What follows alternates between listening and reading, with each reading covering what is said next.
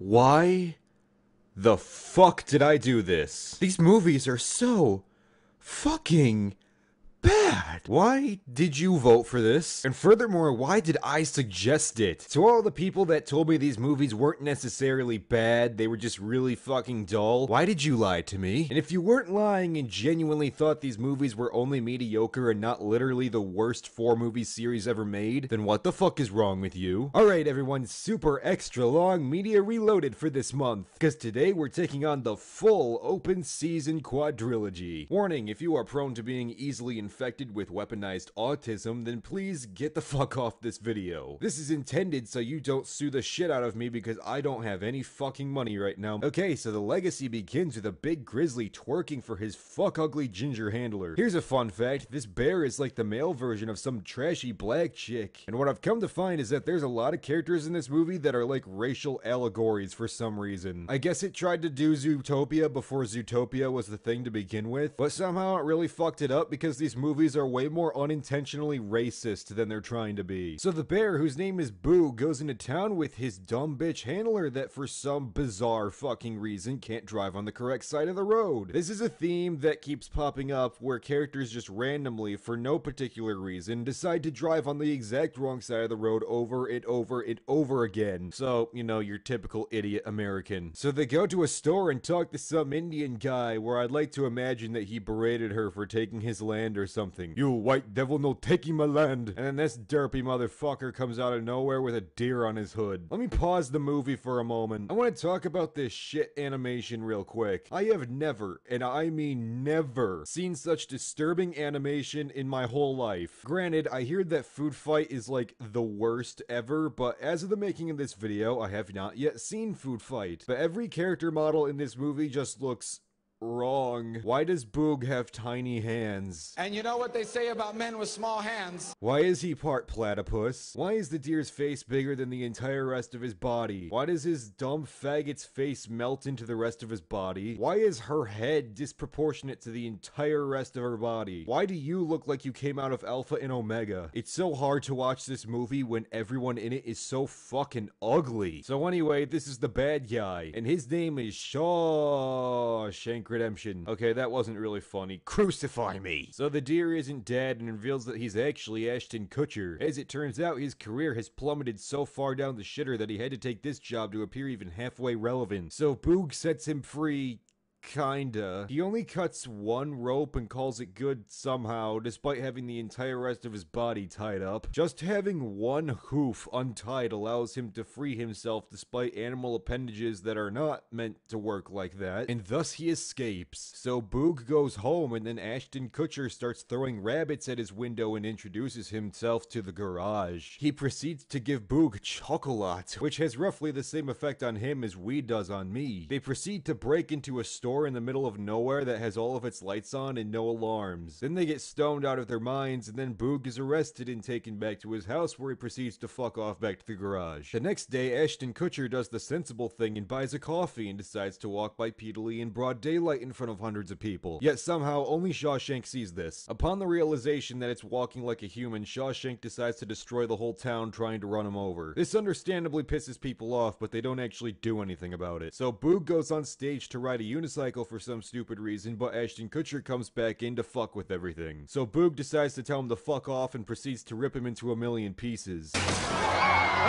Oh god, I wish. Why would you tease me like this, movie? No, it just looks like he's ripping Ashton Kutcher's entrails out, but he isn't actually doing it. So Shawshank tries to shoot him, but he sucks at aiming, but he stealthily gets away because he's needed elsewhere in the plot. So Ginger Bitch decides to take Boog and Ashton Kutcher into the mountains, presumably so Boog can rip Ashton into a million pieces and feast on his corpse. That would be the sensible thing, but we're talking about a movie that doesn't make sense at all. So upon the realization that he's stranded in the middle of nowhere, Boog firmly plants Elliot, oh yeah, Ashton Kutcher's name is Elliot in this movie, into the ground and leaves him there to die. But because Boog sucks at navigating, he tries to get up a tree where he meets some Scottish squirrels. They proceed to throw acorns at him and he walks around in circles for hours and runs back into Elliot who says he can lead him back to town. Yeah, that would have been great information to have Five hours ago. He pulls Elliot out of the ground and they go to find a deer herd. Boog doesn't really give a shit though, and he starts talking to ducks instead, where he's told a very inspirational story about how the duck migration started spontaneously exploding for no reason. I think this is meant to be a World War II analogy, but as it stands, all the duck says is that the duck started blowing up for no reason, so we're left to wonder how the fuck a bunch of ducks just started blowing up out of nowhere. Meanwhile, Elliot finds a deer with a fat ass. No, seriously, her ass is bigger than the entire rest of her body. What is it with this movie in making certain parts of someone's form bigger than the entire rest of it? So then the male deer come out of nowhere where Patrick Warburton reprises his role as himself, and they proceed to tell Boog this. Oh,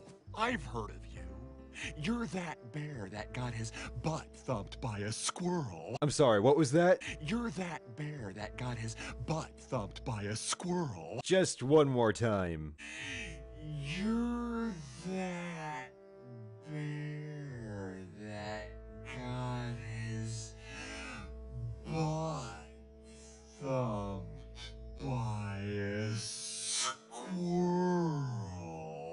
Okay, no joke. I seriously thought at first that he said, You're that bear that got butt fucked by a squirrel. There are several points in this movie where the dialogue is written in such a way that it sounds almost exactly like Kronk here was talking about Boog getting fucked by a squirrel or something. While some may try to pass it off as mere coincidence, I say nay because it happens multiple times and there's a ton of bad sexual humor in this movie. So Elliot puts a stupid stick on his head since one of his antlers falls off and then everyone leaves and they go back to the beaver dam because Elliot's a big fucking idiot. And then Shawshank chases them and they destroy the dam and then there's a moment that I think is supposed to be emotional but I couldn't give two fucks less about it at this point. Oh, and throughout most of this movie, this creepy fucking porcupine keeps following them around. He's also simultaneously the only good part of the movie, so I guess he has that going for it. I'm not even gonna try to figure out how this scene is logically possible, I'm just gonna pass it off as Physics! Physics! Physics! Oh yeah, and I forgot there's also two sassy black skunks. Nigga, you stank! So Boog tells everyone to fuck themselves, and the porcupine says, And it's open season! So Boog goes off and finds Shawshank's cabin and they chase each other around and, you know, this whole fucking scene goes nowhere. It could have been taken out and it wouldn't have changed a fucking thing. So Boog finds town and grows a conscience and wants to help all these animals he doesn't know, doesn't care about, and has been trying to get away from for a day and a half because, you know, after only 36 hours, he's grown so emotionally attached to every character in this movie that he wants to take them all back home. Well, actually, just Elliot. Did the movie makers know that nobody likes him? So anyway, they find a bunch of hunters blocking their way and decide to fight them. So they find a sexy German dog and he joins the team and they rip apart a trailer and use it to make weapons and then they Lord of the Rings the shit out of this.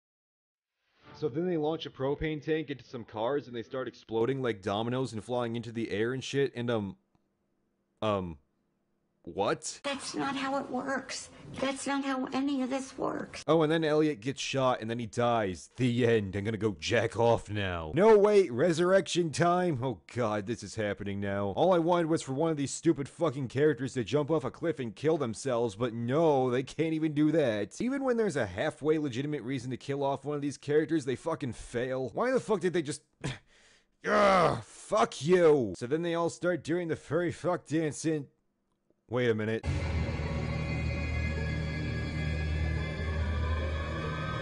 So naturally, since the first movie was so successful, we needed not one sequel, but three of them. God damn it. So the movie starts off with fucking Elliot bragging about his new rack. Yep, they're still going with these bad sex jokes again. For some reason, his rack is bigger than most living beings on the planet, but since the movie makers didn't want to try and do something creative, they just said fuck it and broke his rack within the first two minutes of establishing that it appeared in the first place. Hooray. Then he gets into a rabbit fight because for some weird fucking reason, there's just rabbits readily available to be thrown around in this universe. So Elliot's going to marry this bitch with a fat ass and doesn't want to get married anymore because he's fucking retarded. As soon as Patrick Warburton says they'll be together forever and ever, Elliot, being the stupid shit he is, immediately takes issue with the and ever part because apparently and ever is too much of a commitment beyond forever. Please just fucking kill me. I don't want to do this anymore. So the seductive German dog's owners find him and kidnap him before Elliot can say, fuck you, bitch, I'm going gay, nigga. Elliot decides it's super important to find this stupid fucking dog that played approximately no role in the first movie aside from just being there. Oh, and for some reason, he's purple in the rest of the sequels. So the dog is kidnapped and taken on a journey where there's a bunch of shitty cats and dogs going to a cat and dog park. One of these dogs is basically a Q-tip with legs, but it has roughly the same personality as me, which is to say it's a stupid fucking faggot. So they stop at a gas station and we're introduced to Roger. Roger is easily the best part of this whole fucking franchise. The only reason I didn't fall asleep out of boredom was because Roger is very seriously, genuinely fucking funny. That's not a joke, by the way. I'm actually being serious for once in my stupid fucking life. Roger is a mentally retarded cat that says random stupid shit and does random stupid shit. That's somehow much better written than the entire rest of the fucking movie. Finally, old buddy. Ah, here we go. Finally, it's been ages. Actually, it's been exactly one year, Roger. Really? It seems like such a long time. Oh, I have to explain this again. Okay, listen. We go to Pet Paradiso every year at the same time, and painfully, we have the same conversation. We do? Yes, yes, we do. Is this ringing a bell? Finally, it's been ages. Okay, this movie is like a solid 1 out of 10, but that 1 comes specifically from Roger. So me tells all the other degenerates about my harrowing adventure into a bush where I see a ladybug and something stung my ass and that's bad for some reason. So then I go to scare some retarded bunny that goes absolutely nowhere. Meanwhile, Elliot and his retarded friends try to rescue a dog and immediately fuck it up because Elliot is an unmitigated idiot and manages to lock the dog in the RV right after freeing him, as well as accidentally almost killing the fucking porcupine. Elliot proceeds to blame his girlfriend and then fucks off to the middle of nowhere to find him somewhere else and immediately falls off a cliff. There's a lot of cliff jokes in this movie. Apparently, it's supposed to be funny every time some dipshit accidentally walks off of a fucking cliff, but I fail to see what the punchline is meant to be. The only reason I'd manage to find it funny is if they actually died when they fall off. So anyway, the rest of the characters do the sensible thing and try to fucking follow the road, which actually takes them to the middle of nowhere as well. Okay, I don't even want these characters to die like Dick Skin and fuckins. I at least want them to die because I hate them. I want these people to die because they're so fucking dumb. So anyway, everyone camps out in an electric fence or something, and me and some other faggots try to torture the dog by way of squeaky toy. Somehow, this Einstein-level genius plan goes mysteriously awry and has no effect whatsoever. And then the porcupine takes off the dog's electric collar and gives it to me, creating a giant fucking zit on my face. Then they run away and just happen to run into Elliot, who spent the last 20 minutes of this movie running around a dumpster that's conveniently sitting in the middle of nowhere. Meanwhile, everyone else makes it to the dog and cat park and they decide to paint themselves as dogs. This is cultural appropriation, you fucking white cis deer. This somehow tricks everybody. Roger, something's not right. You smell something fishy here? Barracuda. So their cover is immediately blown and they're locked in a giant plastic mountain and then Elliot and the dog come by and find that Boog has not only grown dreadlocks but is also white. Hey, that's fine. Black power, girl. Ahuru. Somehow the guards fail to notice that this wonderful disguise includes a woman whose face is that of a deer. And they may as well have not even used this disguise considering that they fuck it up within 5 seconds of entering the park anyway. Wow. Did anybody see that coming? Yes. Even Roger saw that coming. I did. So then they somehow bullshit their way out of getting tranquilized, and then everyone goes home and the dog decides to leave the forest and be with his family. What the fuck? This whole movie was about rescuing you. You're telling me that I wasted an hour and a half of my fucking life watching a movie about these bumbling retards fucking off to find your sorry ass. But in the end, when they actually succeed, you choose to be with your family anyway. Weenie, it's been ages.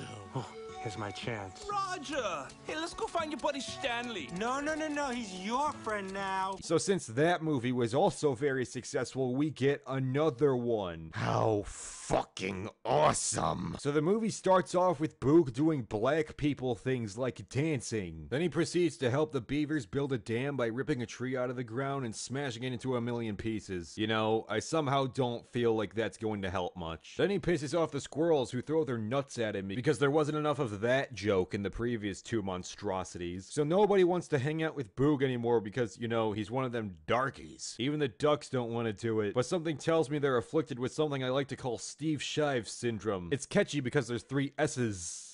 Steve Shives syndrome. Which is to say, they're so cucked by these skunk bitches that they can't even drop shit and hang out. Even Elliot's cucked, and he's cucked by his dickhead daughters and his autistic son who. No. No. Physics! Physics!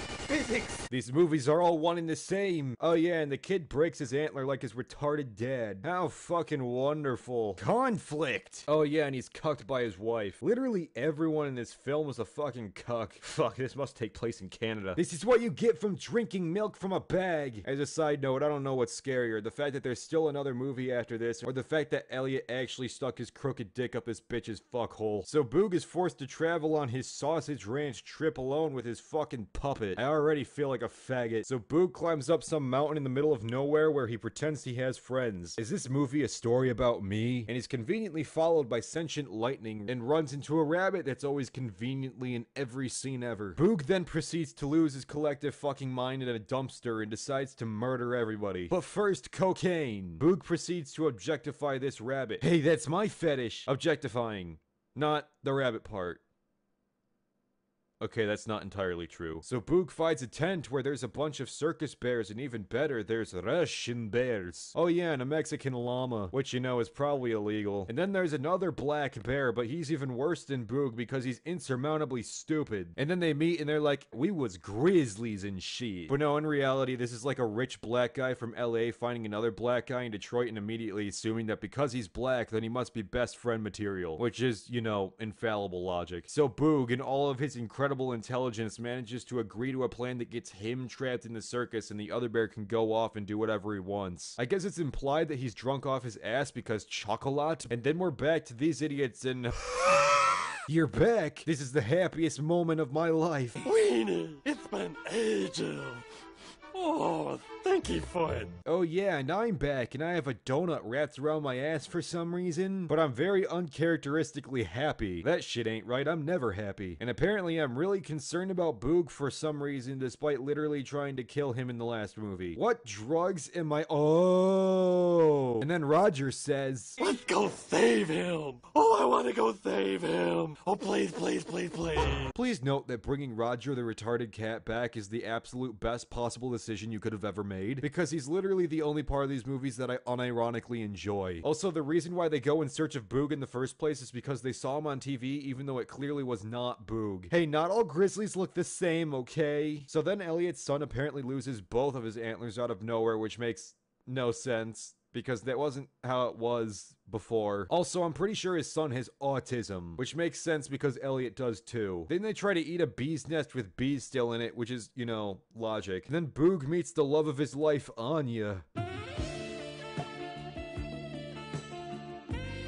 Fuck him hard. So Boog does.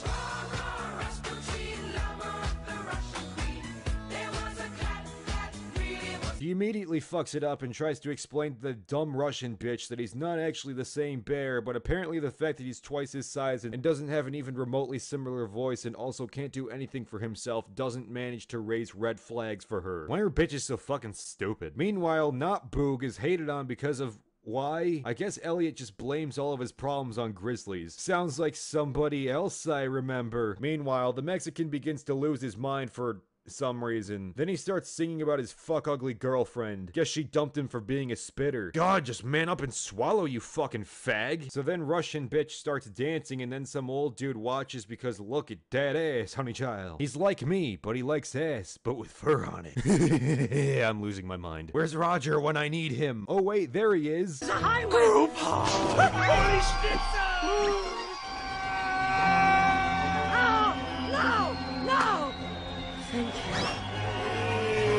I love you so much. And then a truck runs over my balls. All around me are familiar faces, worn out places, worn out faces. Meet that.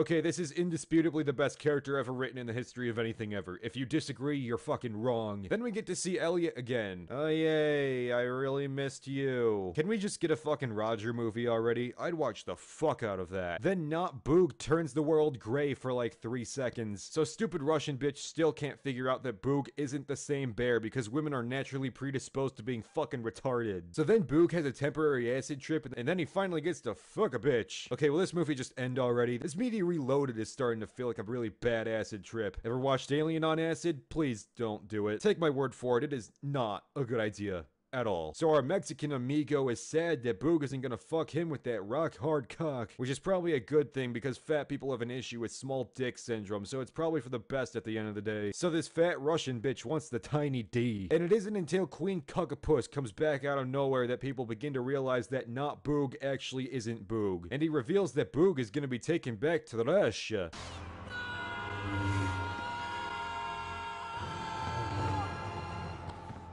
Then we come back to the start of this movie once more because apparently they were captured and taken back home. Fantastic. For it, for it! Oh, meat snack. I love you, Roger. And then they figure out they literally started running around in the middle of nowhere to find Boog when the circus was literally right fucking next to them the whole time. Why didn't you listen to the wisdom of Roger? Roger! Okay, is this movie gonna end yet? This shit is legitimately starting to make me want to kill myself. And I still have another movie to watch. so Elliot leads the entire forest to fuck up the circus because that's a great fucking plan. Then the dogs manage to drive their RV. then I find some new balls and then I lose them all over again and You guys have officially made me lose my marbles! Oh yeah, and then the RV Physics! Physics! Physics! So Elliot thinks a tent is impenetrable because, you know, it's cloth. It's destiny. I love you. So then the circus starts and everyone does the thing. Okay, fuck it, this shit sucks. I'm doing the super fast summary. Everyone infiltrates the already open tent. Nobody notices the clearly visible animals. Cats meet each other. Not all cats look the same, okay? Nobody notices the furries. This happens. Einstein fires a random dog into space because, you know, that's the professional thing to do. Dumb bitch doesn't see Boog literally right next to her. Hi, Phoebe. Oh, Oh, A dog pisses on my face. I feign anger when in reality that shit's fucking awesome. Boog puts his hose before bros. You broke the sacred code. How dare you? So nobody can figure out what the fuck they want to do, and Boog decides to go back to Russia, which is literally the worst idea anyone has ever had. Then they don't go to Russia, which is the only good idea this movie has had outside of Roger. Then he marries his Russian male bride, and then they start singing on the road again because why the fuck not? Then not Boog and Mexicano go back to Russia where they get wonderful things like no rights. Then there's a male stripper scene because we definitely needed the furry version of Magic Mike. Please, for the love of God, don't let that actually be a real thing. And thus ended the open season trilogy. Until five years later, when people had finally forgotten that open season ever existed. Once they discovered the bizarre commercial success of the worst movie series ever made, they decided, Hey, let's parade this movie's decaying fucking corpse around like a puppet and make a fourth open season movie. So naturally, they just had to make a new and original movie that's literally pretty much just Ernest Scared Stupid but for fur fags. Motherfucker. Please, let's just get this bullshit over with. So what's the gimmick of this movie? It's a horror movie. Ooh. As if these those movies weren't terrifying enough. So a werewolf tries to eat Elliot's wife, and Elliot comes in to play his classic role of being a bumbling retard. So he proceeds to kill it with cringe.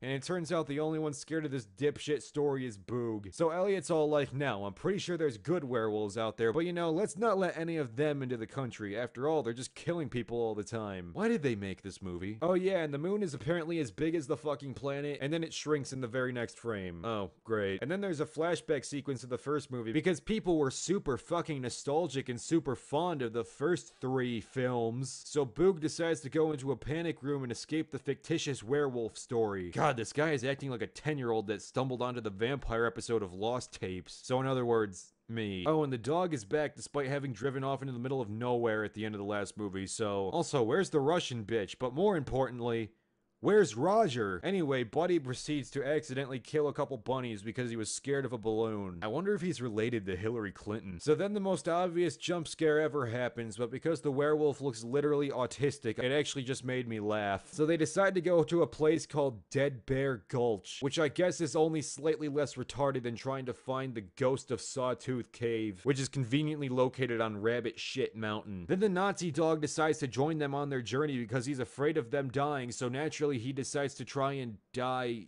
with them. Uh, oh hey, Shawshank's back. Wait a minute, didn't he like get the piss beaten out of him in the first movie? See, I can do flashbacks too, bitch. Then the movie tells the characters to die. It's almost as though it was self-aware for a moment. Then everyone appeared out of nowhere because they planned this apparently. Then the dog's legs break, I guess. Then the purple dinosaur from Alpha and Omega returns to fuck with shit. Then the skunks make a sexual innuendo because, you know, so Elliot starts doing whatever this is supposed to be. And then Patrick Warburton turns into the Wendigo or something and beats the shit out of Shawshank. Why does Patrick keep doing these movies? Why do any of them keep doing these movies. Then there's a singing part and ugh, just bring back Roger already. You've already tried to spend this entire movie trying to feel whatever fucked up sense of nostalgia there is from the previous three. Just let me have Roger the retarded cat back. So Shawshank manages to convince everyone that werewolves are real without any evidence, which the movie points out. He proceeds to show a really shitty drawing and that somehow convinces everybody. Meanwhile, Boog is sitting on Elliot despite being tall enough to just stand up and look through the fucking window. Then nobody notices the deer hanging two inches above them, and the dog decides to try and eat Boog's droopy dick. And then everyone is convinced to Reopen open season. And then Shawshank jumps through a fucking window to see a hole in a bush that looks vaguely like a werewolf, of which he drew a picture of, which is somehow still better than anything I can draw. Oh yeah, and they rip off Land of the Lost for a second. You can never be too careful these days. Wonderful. Can this movie just end already? I'm really fucking sick of this stupid fucking bullshit. Okay, so Shawshank has his gun under a pink blanket in its own bed and everything. Wow, they nailed the representation of your average resident of Louisiana. So then there's this commercial that really doesn't need to be in the movie at all. Actually, why is this whole scene here? Where's all the side characters that have Roger amongst them? I'm sorry, guys. I'm just so heartbroken that the best character in this whole quadrilogy is not in this fucking movie. All around me are familiar faces, worn out places, worn out faces. Never forgetty. Rest in. So no one notices the furries doing sick, twisted furry fetish shit. What's wrong with you monsters? Also, why is Mr. Native American guy feeding the dog? So Shawshank talks with the Pennywise incest dipshits and they drive off the road. Nobody notices this at this point, and even though they literally launch off a cliff and shit starts floating as if they're in zero gravity. So Elliot sniffs shit, literally, then eats shit, literally, and I don't know what this bitch's problem is because he probably eats her fat ass all the time. I mean, come on. Eat shit. Then Shawshank proceeds to eat the regurgitated shit that Elliot spit out, because apparently shit jokes are the theme for this movie. So they hijack a plane for some reason and manage to fit the whole fucking forest inside. it. And they also know how to fly a plane because they're ducks, get it? And then the ducks abandon shit because they don't know how to fly the plane, you realize you were just doing exactly that. And nobody knows how to fly, and then they. Then the dog reveals he's a fake German. How dare you? We was Kangs! And then they crash the plane and somehow don't explode. And then the beaver that was on the plane comes out of nowhere as if he wasn't on the plane and it's revealed that he shit out a fucking log. Well, if anyone was fetishizing the beaver at this point. So then the dog starts sucking his own dick and everyone starts chanting to shove a dick up Boog's ass or something. I'll be fucking honest, I actually zoned out for this 20 minute period of time because this movie is so fucking boring. So Boog dresses up as a tranny because, uh, and then Patrick Warburton comes out and tries to fuck Boog. Guys, come on. Traps are gay. So then the dog gets into some jelly and they find out that the dog is the werewolf. Oh, great. How are all of you people so fucking retarded? So then they try and watch the dog turn into a werewolf and immediately fall asleep watching him stare at a log for like 10 hours. You guys are so fucking stupid. So Shawshank and the incest brides try to kill Boog for being a tranny. Sounds reasonable to me. And they hide behind the incest truck and the bullet ricochets and blows up the truck. So then they run into a mine shaft that apparently has really hot lava inside. You know, that's not how that works, right? That's not how any of this works. So then they try to kill each other on a lava roller coaster, and apparently a loop makes them all switch positions despite the fact that the loop never branches off into other tracks or other loops. Physics!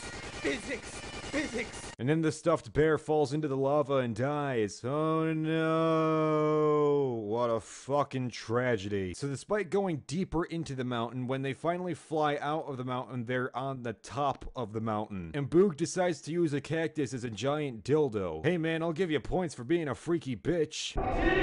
So dipshit dog von Forthreich literally believes he's a fucking werewolf. But not just any werewolf, a gay werewolf. This is a surprisingly faggoty movie. So everyone hides in a panic room guarded by sticks, which Shawshank and the incestors drive on top of and shit. And then they reveal their whole plan in front of literally everybody. At this point, everyone still genuinely believes that there's a fucking werewolf in this film. Can we just not. So everyone goes in for a final showdown to find the dog that managed to delude himself into thinking he's actually a fucking werewolf. Then everyone stares at Boog's asshole for some reason. Then Boog fucks up everyone's shit, including Shawshank and the incestors that dressed up as werewolves for.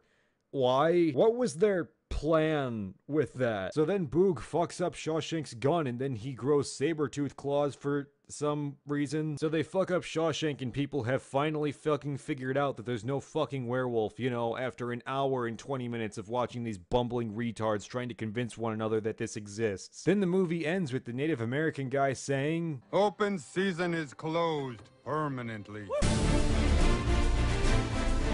Please, Please, for the love of God, let that be the case. Then he offers Boog the chance to come home despite the whole first movie being spent trying to convince everyone that he should not go there and that he should be in the wild. Then the stuffed bear comes back from the dead. Fucking awesome. Then everyone goes camping and everyone realizes that they can't go camping because they're already in the fucking forest already. Why are you all so fucking incompetent? Then it turns out that the werewolf really is real. Why can't this bullshit just fucking end? I just want to die after watching this piece of shit movie. Then Elliot starts dancing and kills the werewolf with more cringe.